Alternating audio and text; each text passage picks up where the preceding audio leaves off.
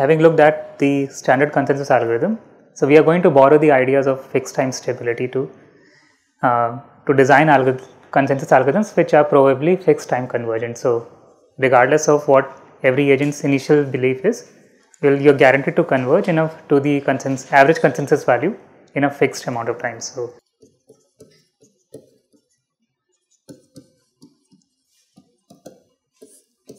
so before describing uh, describing the scheme, uh, so let's let's look at few results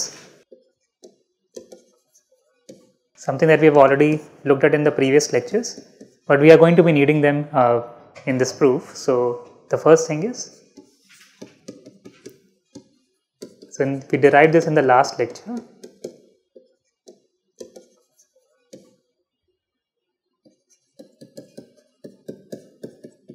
Okay, so this was something that we had derived in the last lecture. Another result that we had derived was summation i1 through n uh, summation through i ei transpose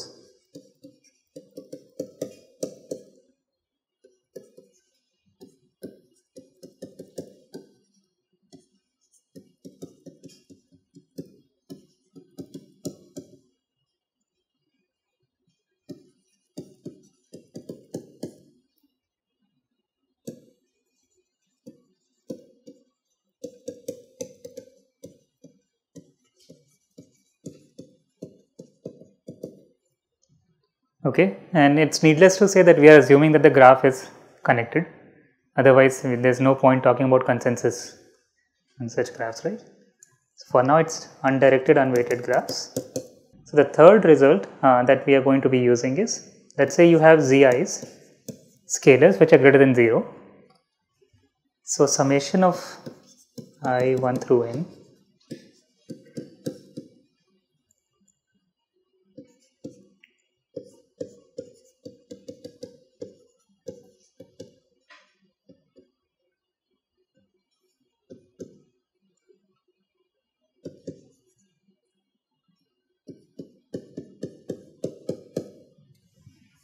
okay. And we also have the converse version of it. So usually by triangular inequality we would have that if p is greater than 1 then the sort of inequality flips. But if we still want to retain this inequality it actually turns out that inequality is still holds true but then you have to sort of multiply it with this particular factor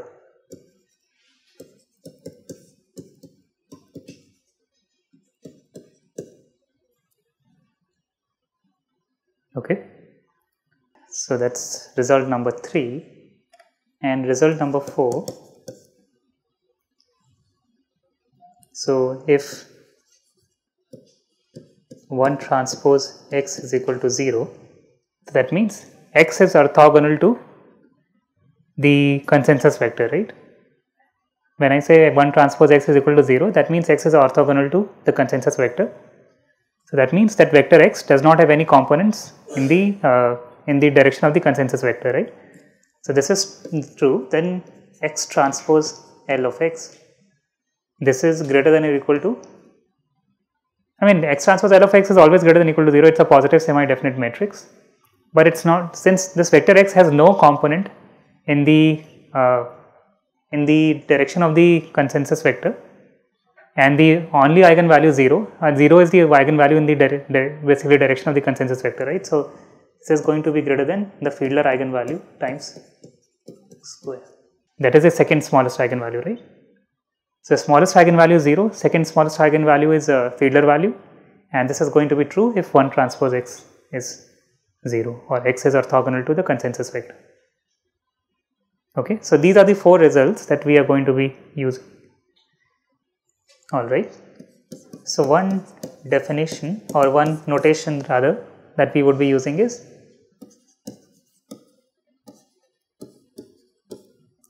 so x can be vector here and it is defined as x times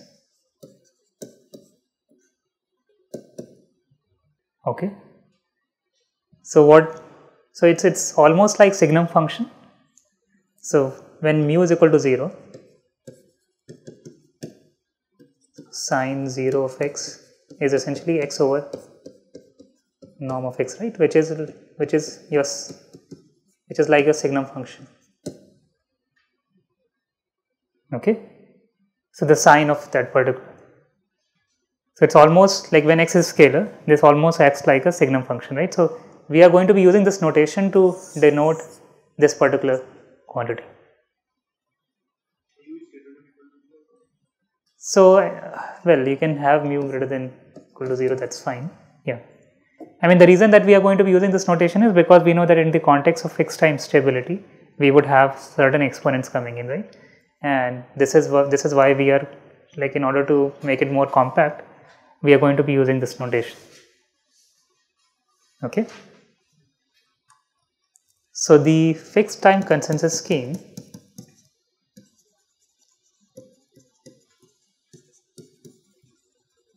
is x dot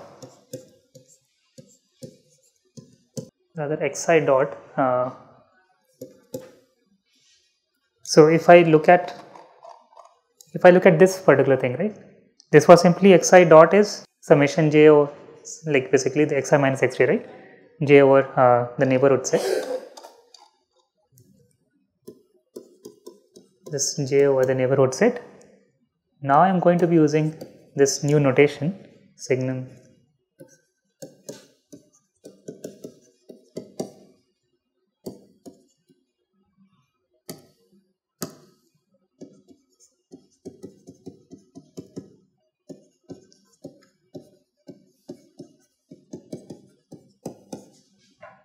Okay. So again if if you remove the signum nu 1 and signum nu 2 part or the sine nu 1 sine nu 2 part. It's exactly a standard consensus algorithm. But because we want to use a fixed time stability result I somehow need to in incorporate these uh, these exponents mu 1 and mu 2 with mu 1 being a number between 0 and 1 and mu 2 greater than 1 and you want both these numbers to be odd.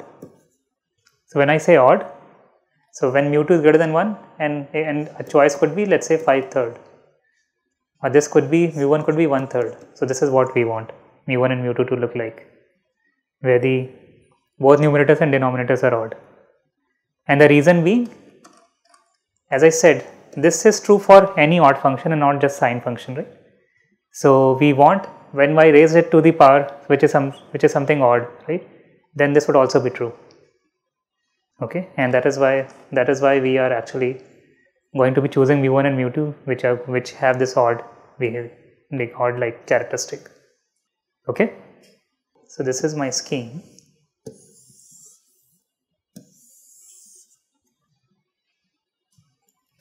Let's see how this works and why does this converge in in a fixed time. So, first thing is we are going to be summing this xi dot and what does this quantity converge to? So, what is this number? Xi dot. If I just sum it over i 1 through n. Yes sum of this right? And using this particular property we know that this sum is going to be 0 okay? Is everyone with me on this? So if I just sum this from 1 through n this this quantity is going to be 0 and this quantity is going to sum to 0 so this is going to be 0 and therefore we know that summation i 1 through n xit is constant.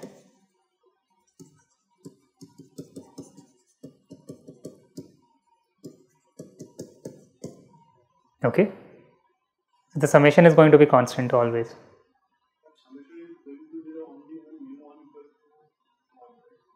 No, mu1 for odd numbers as well it's going to be because it's an odd function, right? This becomes an odd function. So, for any odd function this would be true. Okay. So, in order to show consensus, what kind of Lyapunov functions can we choose? So, this time we do not want it to converge to 0 or anything like, like in the previous case we want f minus f star. We want like we had worked with f minus f star or gradient of f of x norm square that those were the choices for the Lyapunov function, right? This time we do not want, so what quantity do we want it like uh, Basically, what quantity do we want it to converge to 0? Not x star. So if I define, let's say, let's say I define xc to be 1 over n. This is my, this is where I would, I expect the consensus to happen, right? And if I define x tilde i to be xi minus xc, this x tilde is, is what I wanted to converge to 0 yeah for all i yeah.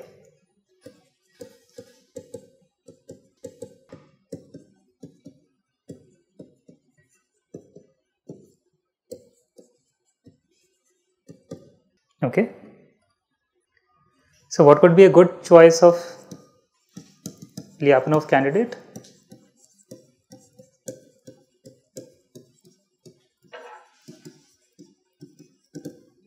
So we can choose V to be something like this.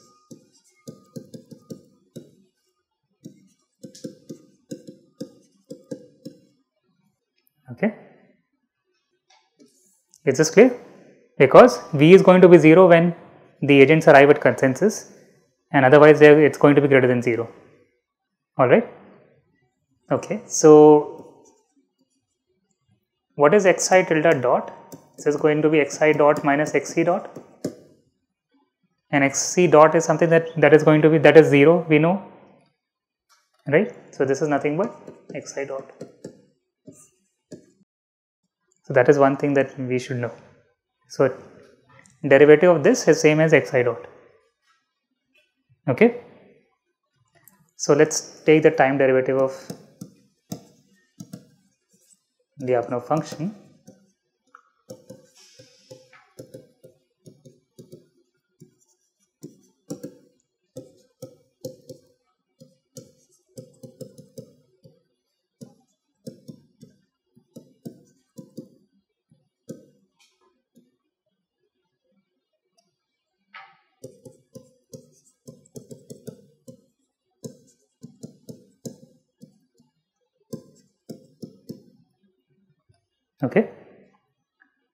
now substitute the let's substitute the value of xi dot.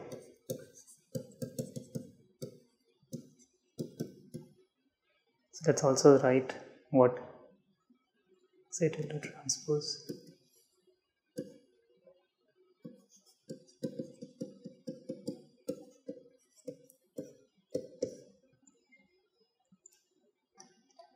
So sine mu 1 of xi minus xj this is the same as xi tilde minus xi xj tilde, right? Because we are just sub subtracting, adding and subtracting xc. So the difference between xi and xj is same as difference between xi tilde and xj tilde.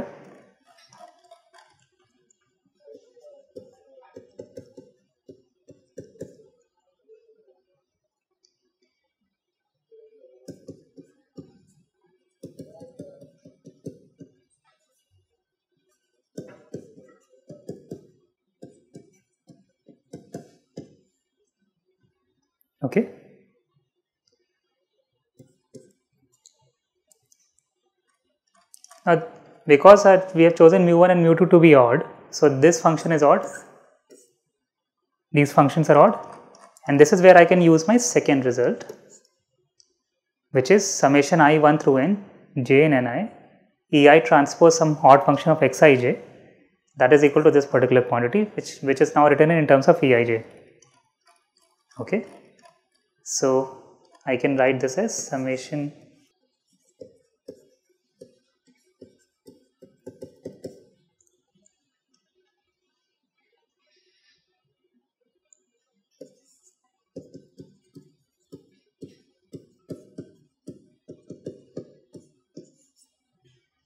okay is everyone with me so far any questions on this so what is the definition of this uh, new defined signum function?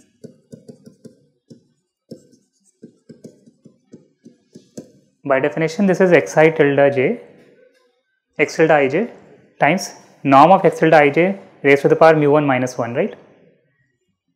So norm mu 1 minus 1 and you have additional exfiltrated that makes it norm nu square, norm square. So nu1 minus 1 plus 2 which is nu1 plus 1. So let me know if uh, you guys did not follow this.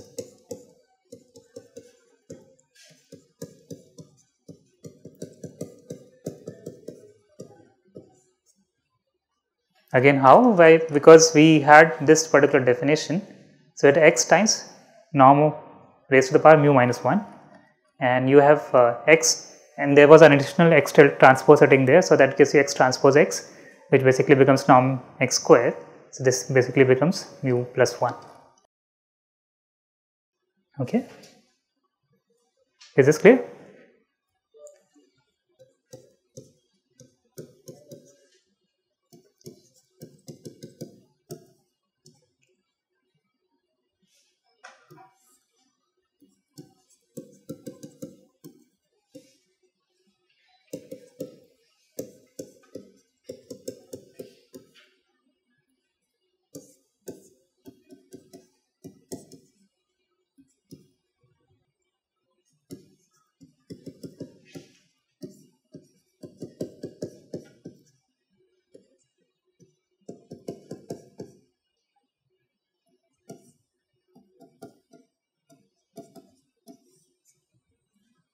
So aij's are just ones or zero, right? So summation j in ni, I can write it summation j 1 through n and if aij's are 0 then anyway they don't contribute or aij's are 1 so then they contribute right and this is what I am just I mean in equivalent way to write this okay.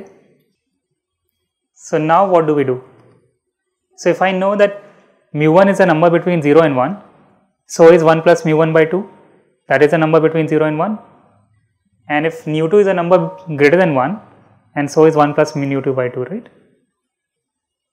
So therefore, now I can use this particular result yes okay. So we because we brought everything in this form.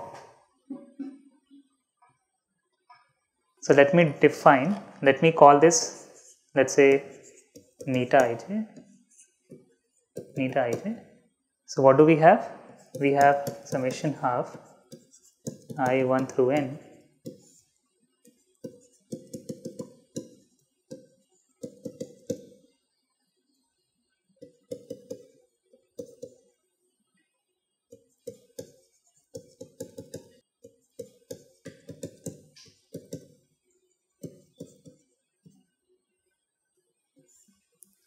Okay? And in order to take the summation inside we need to use these two results. Okay. So this thing is less than or equal to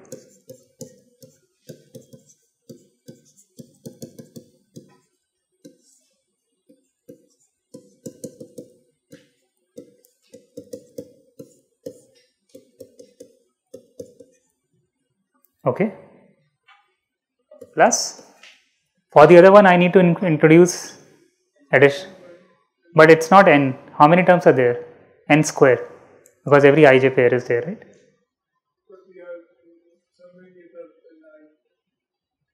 We are summing it, yeah, yeah, this is n, yes, n raised to the power 1 minus p. So, p is 1 plus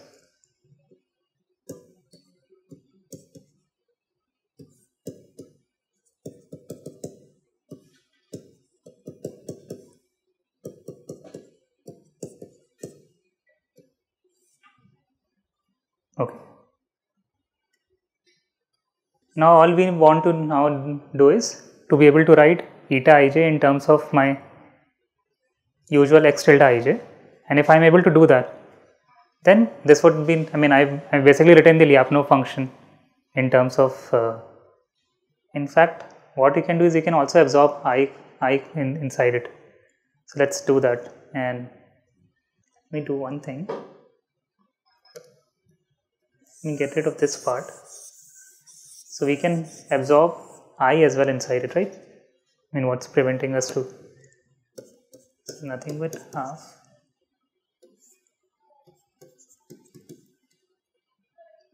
Ij1 through n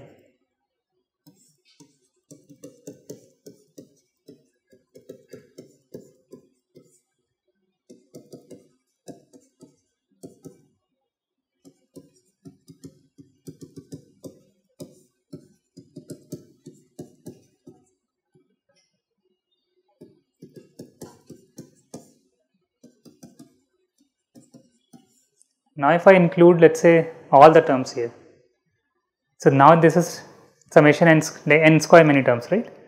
So you can write this as less than equal to negative half. You get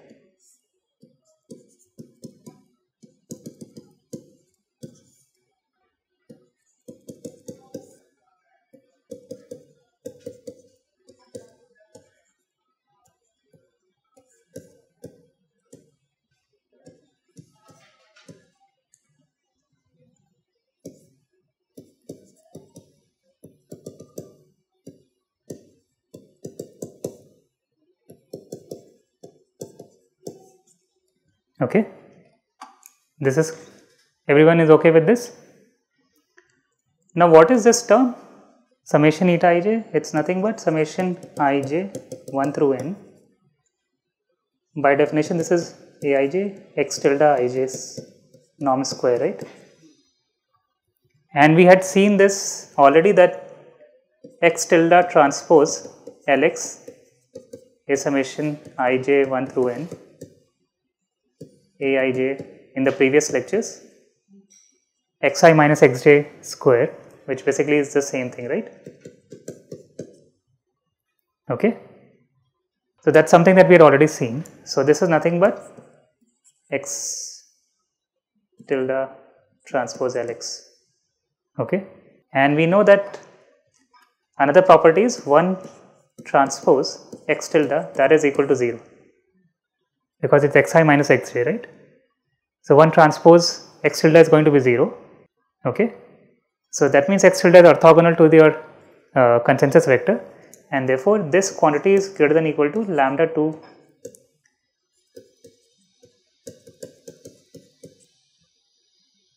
okay and with because it's a negative sign so what we can show is this thing is less than equal to minus half now you have uh, still norm x tilde square let us say lambda 2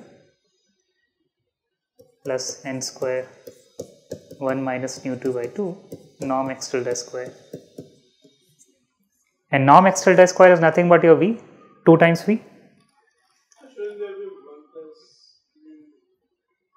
Sorry not square 1 plus nu 1 by 2 thanks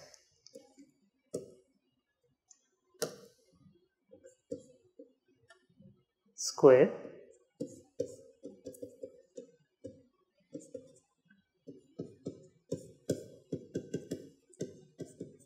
Okay. And this is nothing but your 2 times Lyapunov function 2 times Lyapunov function.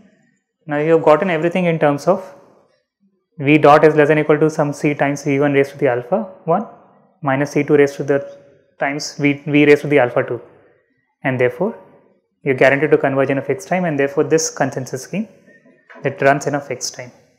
So it converges in a fixed time.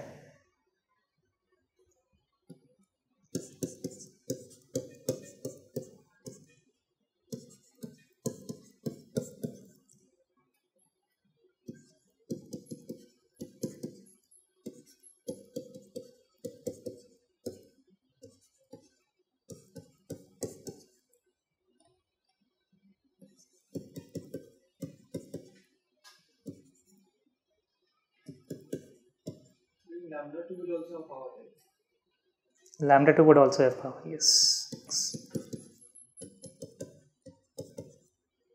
And yeah, lambda 2 absorbed here. Okay. So let's call this C1, this is C2. So you have V dot is less than C1 V raised to the alpha 1 minus C2 V raised to the alpha 2 with alpha 1 in a, a number between 0 and 1 and alpha 2 greater than 1 which implies scheme converges in a fixed time.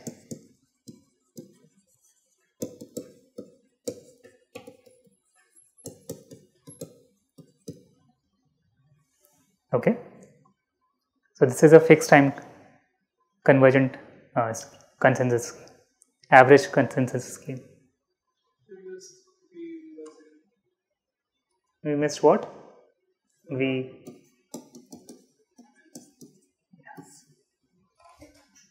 okay? So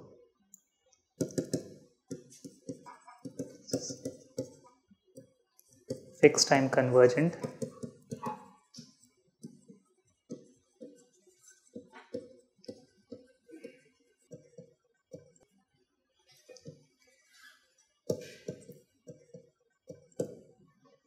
And again this result is pretty new so it, i think in 20 you'll find the genesis in 2017, 28 papers in 2017, 18 and beyond. But again, the idea is, so how do we design something like this? You know how you can potentially arrive at a particular result, right? What, what you need to show. And that basically gives you I mean, some idea as to what kind of properties a dynamical system must have. And this is pretty much the recipe of designing new algorithms, be in the context of optimization or now in the context of uh, uh, consensus. So, in the next set of lectures, we are now going to be using this consensus scheme and an optimization scheme, which is going to be gradient based, combining the two schemes to guarantee uh, not just the consensus, but this time consensus to the optimal solution of the team objective function or the global objective function. So, which is the uh, distributed optimization problem that we are seeking sol- solution to. Okay.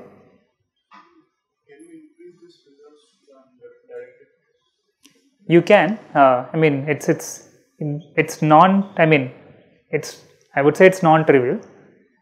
Under here. So a lot of it. did- yeah, lot of. In fact, uh, there are certain results where you do not need the graph to be connected at all times, but uh, the graph can be connected over a period over any consecutive period of L time points. So it's called L connected. That means any period con- continu- contiguous period of L time points, the graph is going to be connected, or any contiguous duration of L, the graph is going to be connected. So in that case, uh, so in that case also you can extend these. re- undirected case. yeah. Or even like even if it's directed. I'm saying that you, strongly connected. For this to for this result to follow. yeah i agree. I agree. For this result to follow you need the graph to be symmetric and in that case for directed graphs it's, going to be somewhat challenging. So one way to for instance when you work with directed graphs is uh, you I mean, it's first, it's non-trivial extension of what, in fact, even the standard consensus algorithm, it's a non-trivial extension of that to, I mean, guarantee, like basically to come up with something which basically guarantees convergence in the context of uh, directed graphs. So that is there for sure. So one thing that you need to, so is the Lyapunov function here, V, in this particular case, when we chose V, is V a function of the underlying topology? Is V a function of underlying? No, right? Nowhere we in the structure. So, yeah, so one thing that you can see here is in the convergence. So, what is the settling time? If you had something like this C1 1 minus alpha 1 plus 1 over C2 alpha 2 minus 1, right? So, if you have the Fiedler value, that Fiedler value comes in the denominator. So, larger Fiedler value means smaller diameter, right? Faster convergence. So, larger Fiedler value means faster convergence, and that's what you see over here. So, the settling time is first of all inversely proportional to the Fiedler value. Fiedler value will show up here. So, Fiedler value, that larger Fiedler value means fast, faster consensus because it means a smaller diameter and faster consensus. And you see that the in this case, the settling time is also dependent on the Fiedler value. So, if you have larger Fiedler value, the settling time becomes smaller and vice versa. Okay, so that's one thing that you should note. The other thing, uh, the underlying topology doesn't show up in the definition of V, right? So, it is independent of topology.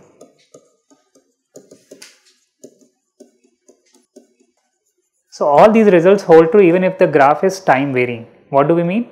So, at any instant you can have the graph switch from one particular topology to another like let us say right now it is a star topology and at time t equal to 10 it immediately switches to a, uh, ring topology. So, as long as the graph is going to be connected this result is going to hold true no matter what. Okay. So, so the consensus it's still the consensus scheme is still going to be executed in a fixed time even if the graph is time varying. So, this scheme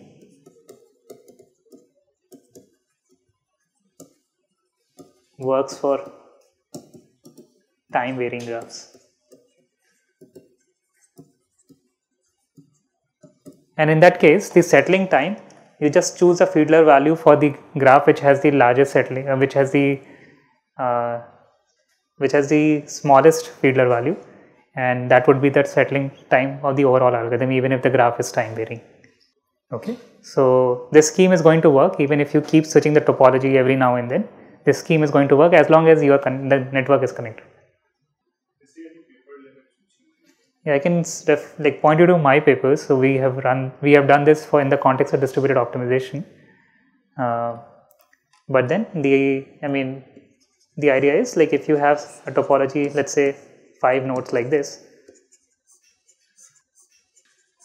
or you have something like this. So if, I mean, if at different times it just keeps switching, the topology keeps changing. But if you assume that the underlying graph is connected, you are guaranteed to uh, converge in a fixed amount of time. And in that case, you would use a settling time for the graph which uh, which has the sm uh, smallest Fiedler eigenvalue or the largest diameter. Okay.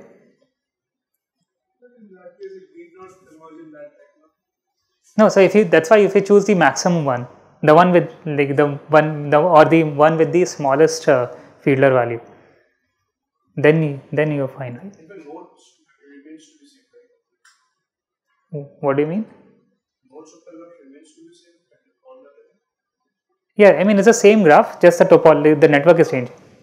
But if the nodes, Your neighbors are changing essentially. Ah, but if nodes are increasing and decreasing, then Yeah, then then it's not. Yeah, it's the same graph, just your the their connections are changing. it's a subgraph. Not a subgraph, just the connections are changing. Like right now, you you so for instance, if I look at these, so initially one was a neighbor of two and one was a neighbor of three. Now one is a neighbor of two. So you you can be changing connections with your neighbors may be changing, evolving, but then you may still. Uh, as long as the underlying graph is connected or the network is connected, this result would hold.